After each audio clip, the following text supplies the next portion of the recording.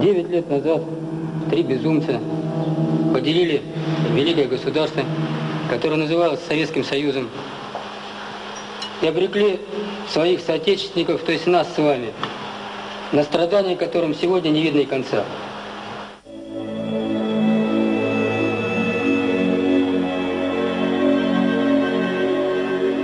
Дело в том, что когда государство наше развалили, я лично не все понимал, что происходит.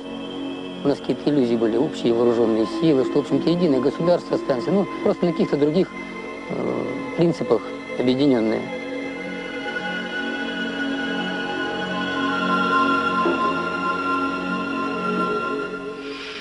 По решению трех президентов в Беловежский путь части центрального подчинения и военно-морского флота отходили России. Центр боевого применения на аэродроме Саки – это часть центрального подчинения, и он должен быть российским. Но, к сожалению, часть руководящего состава центра в подавляющем большинстве приняли ориентацию на Украину. Сюда начали прилетать эмиссары украинские. Первый прилетел сюда замкомандующий авиации Украины генерал Скалько. И он говорит, нужно э, четыре летчика, украинца, для показа высшего пилотажа в Канаде. Я уточняю, говорю, вы, наверное, договорились, наверное, не четыре летчика украинца, четыре гражданина Украины, летчика. Он говорит, для тупых, я повторяю еще раз, четыре летчика украинской национальности. Потом, значит, этот Скалько собрал нас, все руководство центра. Он зачитал приказ министра обороны Украины о переподчинении центра вооруженным силам Украины, о назначении их, украинского начальника центра, и о снятии нашего русского Бакуля, ну не русского, а советского. И вот вы понимаете, сидят эти полтора десятка высокоподготовленных в профессиональном отношении и далеко не слабых людей, и всем все понятно. Он говорит, вопросы есть? И вот я тогда встал и говорю, я что-то не могу понять, что вообще здесь происходит. Приехал какой-то генерал в каких-то зеленых штанах, я его первый раз в жизни вижу. Зачитал приказ какого-то министра обороны.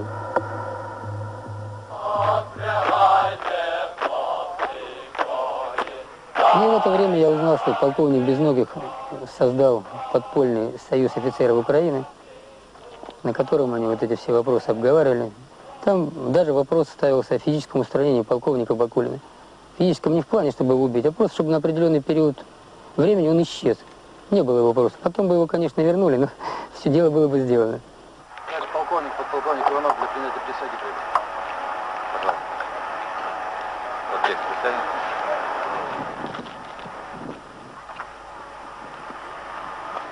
Я, Иванов Валентин Васильевич, вступая на военную службу, торжественно клянусь народу Украины всегда быть верным и преданным ему, добросовестно и честно исполнять воинский долг. Многие принимали присягу, не поднимая глаз. Я не принимал присягу, но для меня это такое нервное потрясение было, что мне потом несколько месяцев пришлось свой организм приводить в соответствие, причем при помощи врачей. Такие переживания были, хотя для себя я уже все решил. Но здесь оставалось то, то есть смысл всей жизни уходил вместе с этим аэродромом и с этим, значит, полигоном. Я четко понимал, что второй такой тренажер нам не построить. То есть, в принципе, для меня решалась судьба авианосного флота вот на этом аэродроме в тот период, э, весной 92 -го года.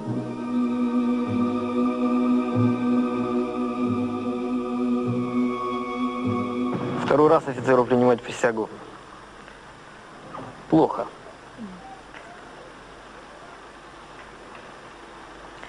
Но еще хуже должно быть тем людям, которые этих офицеров заставили.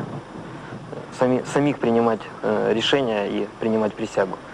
Второй раз, э, значит, по той причине, что то государство, которому они присягали первый раз, э, прекратило свое существование на абсолютно ровном месте, без видимых причин, без внешнего воздействия военного. Советского Союза не стало, надо определяться. Гражданином какой страны я стал. Я рожден здесь, здесь вырос, здесь собираюсь умереть. Мне было, конечно, неприятно внешнее проявление вот этого насилия. Сегодня люди, которые вчера были под красным прапором, сегодня вдруг появились под желто-блакитным знаменем. И вдруг начали спрашивать у наших высоких начальников, на какой мове мы будем размовляти. Я ушел э, на пенсию в 94 году. Первая причина, это потому что мы практически полностью перестали летать. Мне, конечно, щемит сердце, когда я вижу своих однополчан, летающих здесь. Но нет, нет. Уходя, надо уходить. У меня третья эскадрилья, она из, из одних украинцев стояла. Я к ним утром приходил каждый день, говорю, привет, хохлы. А после присяги зашел, говорю, привет, и, и заткнулся, потому что уже не хохлы, а уже могут политику пришить. Так вот, дохожу вот как раз в этот, в этот самый период, на доске написано «Родина», Москва с маленькой буквы, а сало с большой. Вообще классный такой кадр.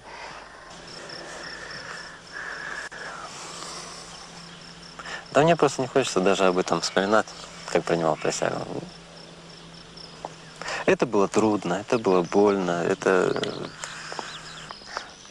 скажем, что проявил слабодушие. Семья повлияла, потому что у меня сын родился как раз в 91 году. Вот, я его давно ждал. Наталья сказала, что это, туда не поедет. Жена моя. Все взвесил, остались здесь. Да мои родня тоже говорит, что я там. Вот, еще другой выпил. Типа предал Россию. Я говорю, никто никому ничего не предал. Это все. Если вернуть все назад, я бы пошел на север.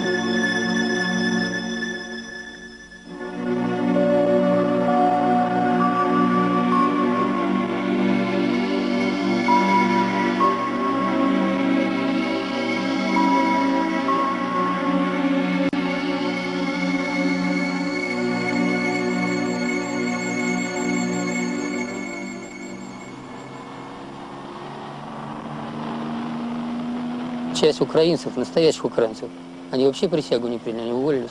И не потому, что не любят Украину, а просто говорят, я вот так вот присягу под дулом пистолета не собираюсь принимать. А у некоторых семьи просто на этой почве лопнули. Ну, как вот у Лешки Фоломеева. Ну, Такая кошмарная обстановка была. Гарнизон гудел. Какие-то разборки, кто какой национальности. Дома это обсуждается, на работе это обсуждается, везде. И потом, когда э, твои друзья, с которыми, в общем, так э, сидели часто вот за этим столом, вот так вот, когда они приходят в твой дом и говорят, вот эти хохлы подлючие. И я говорю, что я отношусь к этим хохлам, в общем-то, потому что я тоже этой национальности.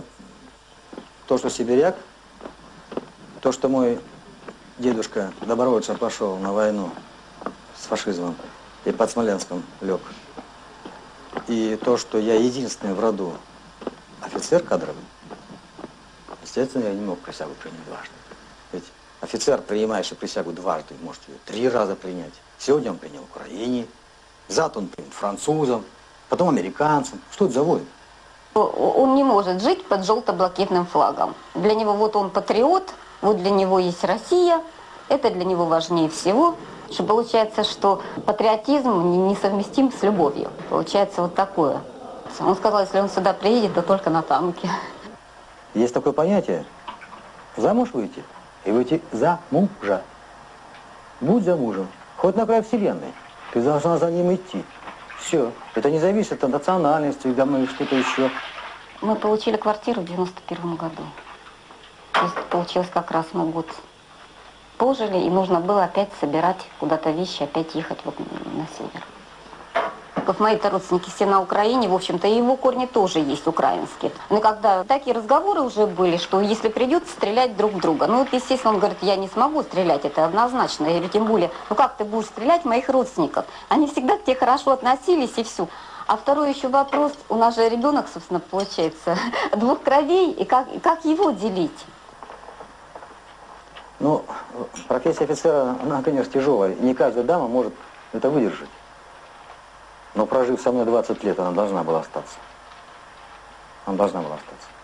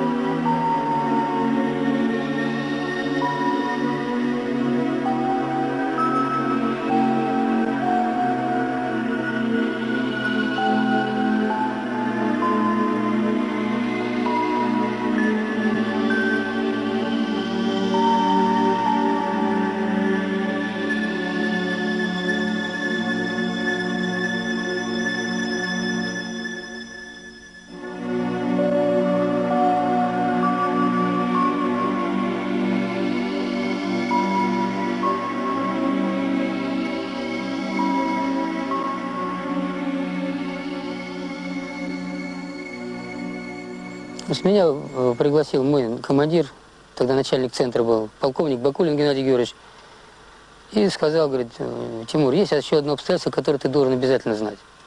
Каждый офицер от командира полка и выше должен ответить при собеседовании перед назначением на должность на один непростой вопрос. Будешь с Россией воевать или не будешь, если потребует интересы Украины. Генерал-лейтенант Радецкий был командующим округом тогда. Он по телевизору в открытую на, весь, на всю страну нашу заявил, я, говорит, если интересы Украины потребуют, буду воевать с Россией. Я вот смотрю телевизор и думаю, блин, какая вообще женщина тебя вырастила? Это же советский генерал. Я тогда еще не знал, что его родной брат, у которого даже лицо почти такое, вице-адмирал Радецкий, начальник тыла Северного флота. Вот два родных брата, один в России, другой на Украине. Воевать с Россией, конечно, мне, да и любому, наверное, человеку, который живет здесь, э, здесь э, и вообще на Украине, наверное, абсолютно не хотелось бы. Но если мы приняли присягу или даже находимся на контрактной службе, дело военного конкретного исполнителя, не рассуждать значит, о правильности, правомерности э, приказов, а точно их выполнять. Что касается летчика, значит, его дело точно накладывать марку на цель и вовремя нажимать боевую кнопку.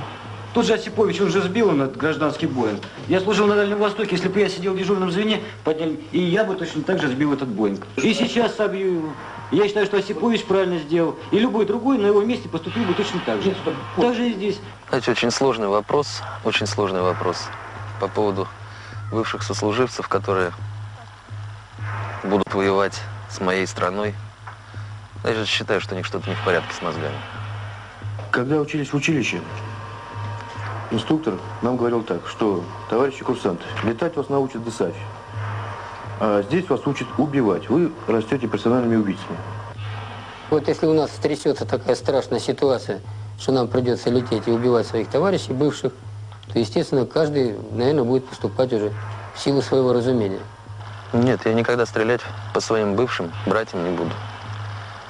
Если поступит такой приказ, что ж тогда армии со мной не повезло. Вот эти все сказки, там, что я стрелять не буду, там, я т.д. я в это все не верю. В нашей стране, к сожалению, это все можно организовать. Просто приложить к этому руки. У нас стравливают два братских народа, и даже один с другим, так, что они вырезают там до седьмого колена.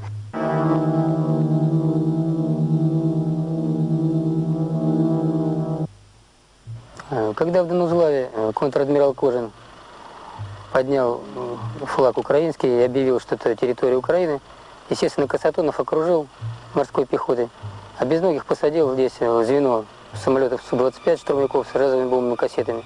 Летчики э, на эти самолеты были спланированы все члены Союза офицеров Украины, все украинцы.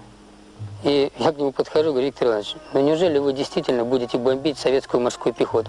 У них же тогда был советский военно-морской флаг, они Андреевский флаг еще не поднимали на Черноморском флоте.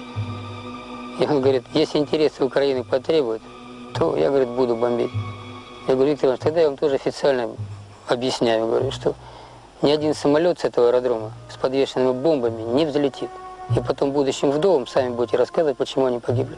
Он мне вообще сказал конкретно, Тимур, ты меня знаешь. Я пущу кровь и на вас с Бакулиным спешу. И вы будете виновны в том, что забьете клин между двумя братскими народами.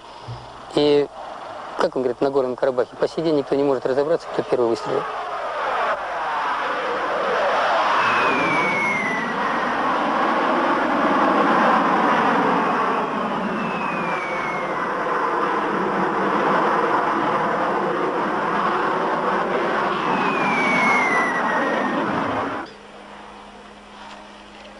Ухожу, нету сил, лишь издали.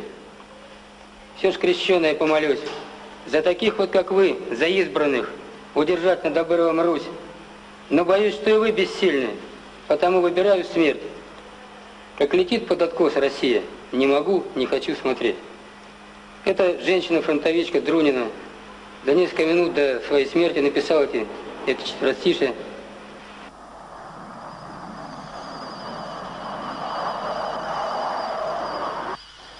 Когда у нас вот накал страстей достиг апогея, сейчас очень не любят это вспоминать все.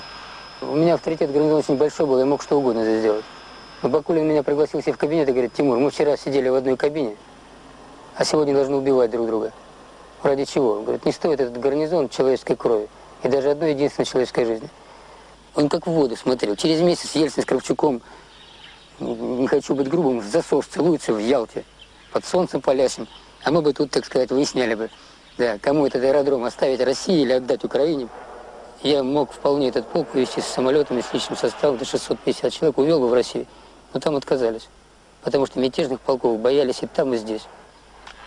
И то, что произошло, мы к этому шли десятилетиями.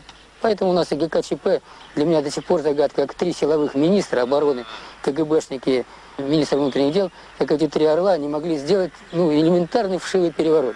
И какой-то Борис Николаевич вылез, значит, на броневик, как всегда, что-то там крикнул, какие-то там, значит, баррикады. Мне, как военному человеку, это смешно. Все это можно было даже не полком, батальоном все сделать. Так наш классик говорил, без шума и пыли. Если бы Язов знал, что наша страна захлебнется впоследствии кровью из-за его нерешительности, они испугались. И он, и Крючков, и этот, я не помню уже, кто там был. И помнить не хочу. Покатин, по-моему, был. Пуга, да, Борис Карлович, да, помню этого Пугу. И настал тот черед, когда пребывание тех, кто не приняли присягу, здесь было уже просто ну, неприемлемым. И наше командование морской авиации приняло решение на перебазированность на Северный флот. Я с собой забрал вот 15 летчиков, 85 офицеров инженерного состава. Ну и вот цена вот этой незалежности или суверенности, она оказалась настолько дорогой. Остался аэродром, было два полка, один полк разогнали. Сейчас эти в расцвете силы летчики, здоровые, способные летать, стрелять и драться, защищать Родину. Они сейчас он работают, то заправкой руководит, там, то в колхозе на тракторе, то в кочегарке сидит.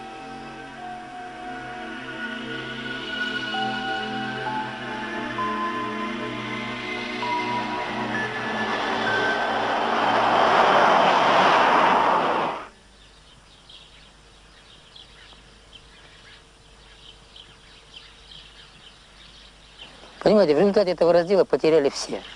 Авианосная авиация нужна России. Единственный авианосец в России. Полк корабельный начали возрождать опять в России. А тренажер взлетно-посадочных систем «Нитка» на Украине. Судостроительный завод, который авианосцы строит на Украине.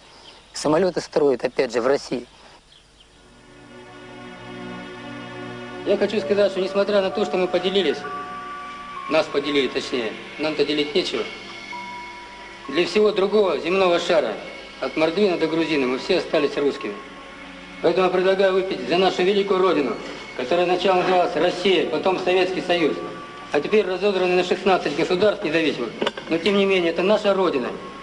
За нее, за великую Россию. Да.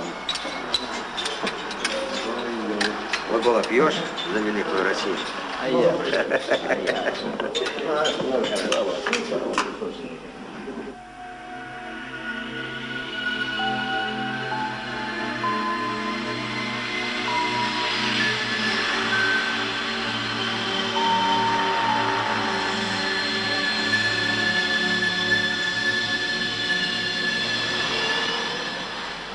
Мы летели в неизвестность, мы летели на Северный флот. Все до одного шли с понижением должности. Камэски шли рядовыми летчиками. Для некоторых должностей вообще не было.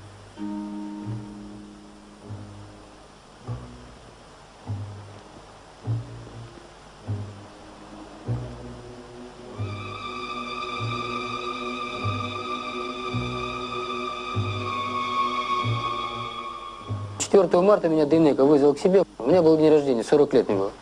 Он меня поздравлял, потом говорит, вот прошел совещание в Совете обороны и принято решение, если эскадрилью истребителя не посадят на Венус до конца года, то корабль будет продан. И тогда, тогда, после этого, я вас собрал. Почему я помню, кто был, потому что Седова реакция была, у Кости была реакция негативная. Костя сейчас может отпираться, тогда он мне сказал, товарищ полковник, вообще-то вот пожить еще хотелось бы. У меня, говорит, трое детей. Этот тоже сказал, говорит, да вообще-то умирать-то не хочется. Хотя я никому не говорю, что мы умирать будем. Я просто сказал, что я буду вас сажать в жестких условиях и практически любой ценой. Да, я это сказал. Прав я или не прав был, время вот рассудило. А как был поставлен? Вопрос был поставлен, готовы ли вы отдать свою жизнь? Это я Вот так, такое говорил, я- Костя? Да, я это помню. Витя, по-моему, так вопрос был поставлен. Вспомнил. Витя точно был не готов отдать свою жизнь, это я точно помню. Потому что он смотрел на как на этого самого.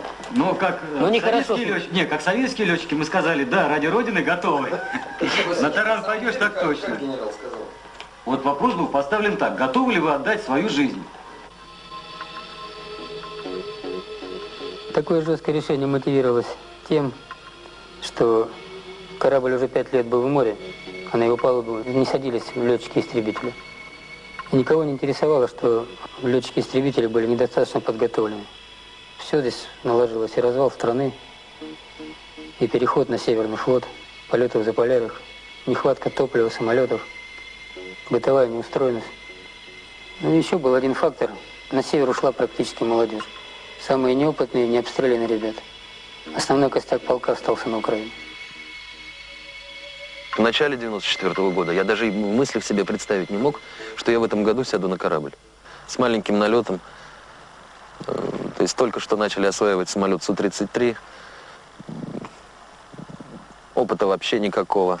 Но с лейтенантов еще я знал, что рано или поздно это случится. То есть э, я себя готовил к этому. Риск был. И немалый риск был. Зачем? А, иначе бы и авианосца не было сейчас. Я понял тогда, что все, если единственный корабль продадут, то палубной авиации у нашей страны не будет никогда. И все, ради чего мы ну, пожертвовали, уехали с Украины, просто теряло смысл.